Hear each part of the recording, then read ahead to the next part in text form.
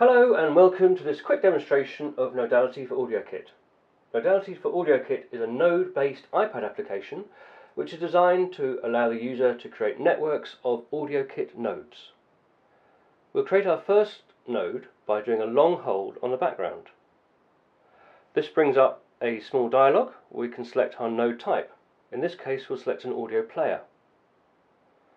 To connect the audio player to the output we do a long press on it and then select the input node on the out the input row rather on the output node. We can now hear our audio player playing. There are a few built-in samples, the bass loop, a drum loop, and a guitar loop. We can add a filter effect to the output of the audio player by another long press. This time we'll select reverb. A long press on the audio player puts us back into this relationship creation mode.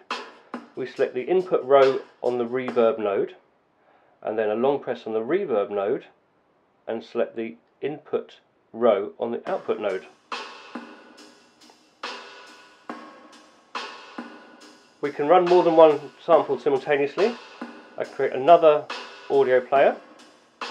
This time I'll select the bass loop, which is the default, put that through a string resonator. Oops. Create the relationship between the bass loop and the string resonator and I can now plug that into the output.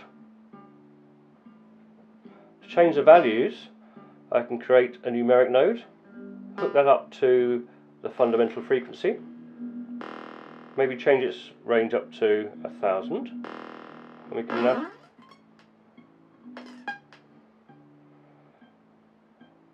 To mix those two nodes together, I can select a dry wet mixer, take the output of the string resonator, add it to the input of the dry wet mixer, the output of the reverb to the first input of the dry wet mixer, then take the output of the dry wet mixer, plug that into our output.